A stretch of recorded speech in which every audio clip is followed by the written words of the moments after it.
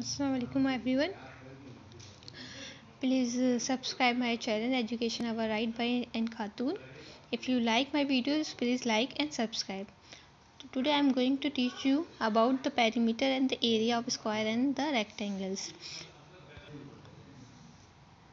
Before we proceed, uh, मैं आपको बता दूँ आज मैं आपको स्क्वायर का पेरीमीटर एरिया और रेक्टेंगल का एरिया एंड पेरीमीटर के बारे में पढ़ाने जा रही हूँ। आज हमारा टॉपिक है square and the rectangle and its perimeter and the area आज अब अब हम जानते हैं कि स्क्वायर क्या होता है। स्क्वायर एक close two dimensional plane figure है, जिसकी चार साइड होती हैं and all the four sides of the square are of equal measure okay and what is rectangle a rectangle is a quadrilateral with four side the opposite side of a rectangle is parallel to each other it means that the opposite faces of the rectangle are of equal measure तो चलिए अब मैं आपको बताती हूँ क्या क्या है तो मैं आज हम पढ़ेंगे perimeter and area of square and rectangle मैंने आपको स्क्वायर और रेक्टेंगल की डेफिनेशन बता ही दी है। ये जो होती हैं जोमेट्रिकल फिगर्स होती हैं, ठीक है? Square and the square and the rectangle are the geometrical figures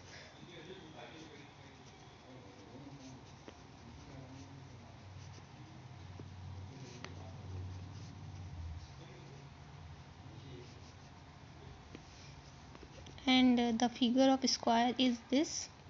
This is a square. And uh, this is this is a rectangle. Okay. In square i have already taught you that four sides are equal. And in this in this rectangle two sides are equal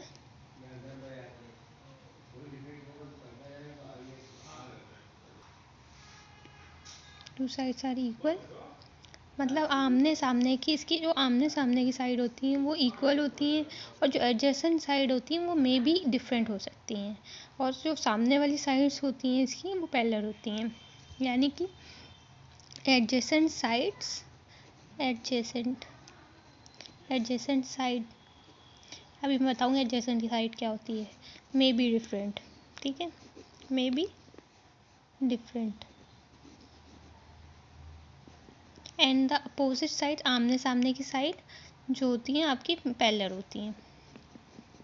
Opposite sides are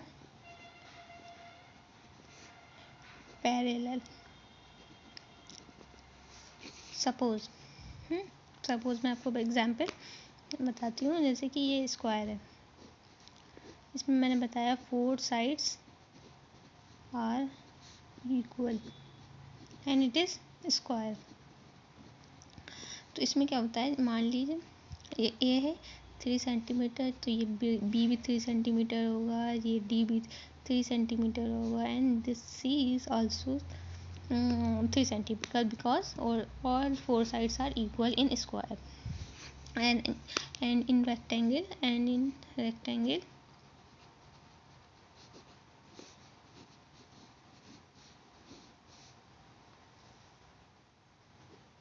A B C D. A is equal to C B is equal to D. And if a is equal to 3 centimeter, then then